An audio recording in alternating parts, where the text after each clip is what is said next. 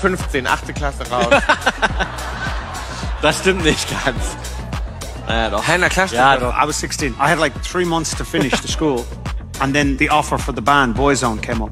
Ja. And it was either Boyzone or school. Ich der berühmte Bill und der private Bill. Ich bin ja dieses, dieser Bill, der da nun mal ist mit all diesen Sachen, die kommen ja dazu, so.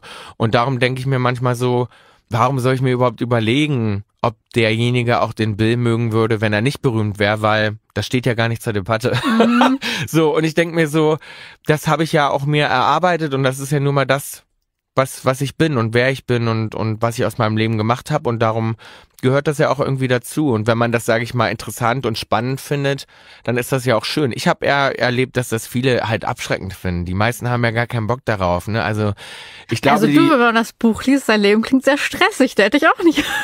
ich glaube, es ist eher die größte Herausforderung, ja. ist eher jemanden zu finden, der das mitmacht. Ja. Ich glaube, weil da gehört noch ganz schön viel dazu, glaube ich, auch so an mhm. meiner Seite zu sein. Yeah.